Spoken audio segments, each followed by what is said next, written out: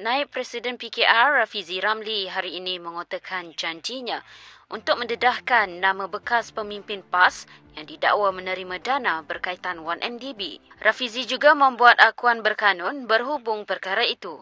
Nasruddin yang kalah dengan pemimpin agresif PAS ketika itu, Muhammad Sabu, sering dikaitkan dengan agenda kerajaan perpaduan antara partinya dan AMNO.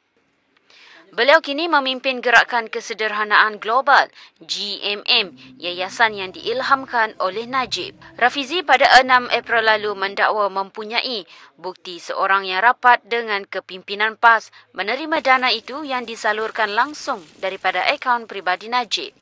Rafizi kemudian terus berteka-teki selama seminggu dan hanya memberi bayangan individu itu sebagai pernah menjadi pemimpin PAS dan pernah ditegur oleh bekas Mersyidul Am Allahyarham Datuk Ni Aziz Nikman. Ramai pihak telah membuat spekulasi bahawa Rafizi memang merujuk kepada Nasruddin termasuk penulis blog Raja Petra Kamarudin yang menamakannya. Malaysia kini telah berulang kali cuba menghubungi Nasruddin melalui pelbagai cara panggilan telefon, pesanan teks, email dan fax untuk mendapatkan reaksinya tetapi tidak berbalas. Malaysia kini terus cuba mendapatkan penjelasannya selepas Rafizi menamakannya hari ini. Najib telah berulang kali menafikan menggunakan dana awam untuk kepentingan pribadi. Peguam negara Tan Sri Apandi Ali juga telah membersihkan namanya daripada sebarang salah laku.